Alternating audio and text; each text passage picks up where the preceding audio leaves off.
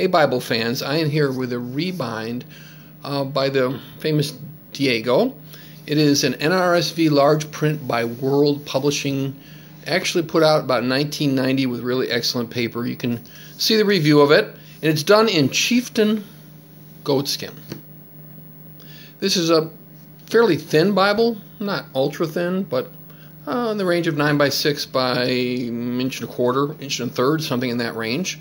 And this is the most expensive goat skin I know of. Here's the work. I'm going to give you a look at it.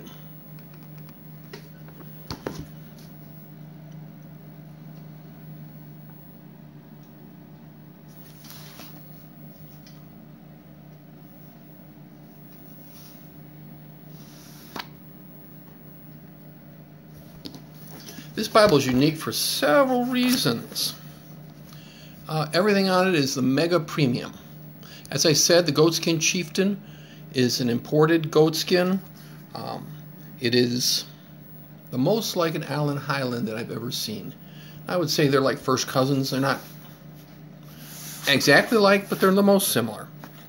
This Bible, as I stated, was about a 9 by 6 by inch and a third.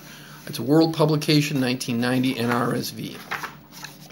And the work on this is just astounding. Out of the box, you think this is an Allan. You think that Chant in London did for Allan. It is that perfect.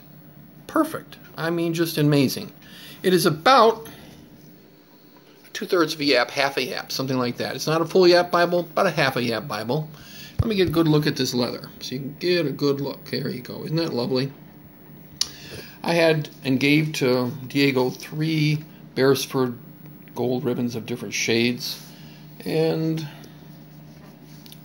we also sent it to a gilder in Wisconsin that does actually 22 karat gold gilting. And it's absolutely gorgeous. And what's very interesting is when you're done with the, with the gilting, the gold, actual gold, you have a light art gilt. Isn't that amazing?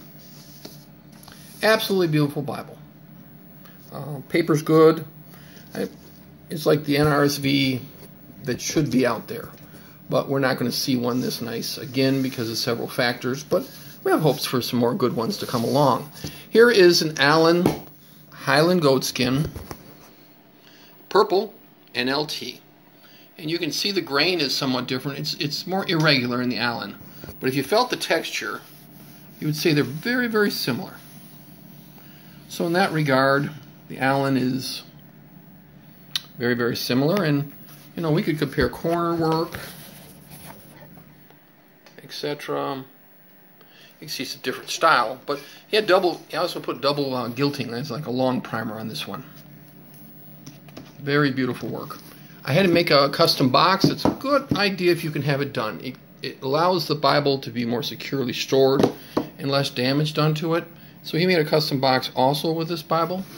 Um, very nice, same kind of material as you'd see in a, an Allan or something like that. Very heavy, nice slip-in box.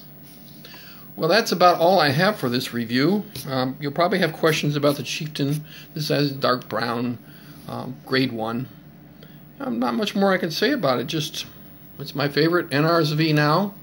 By far, it's like having an Allan NRSV, but actually printed on good paper. Okay, folks, that's all I have for today.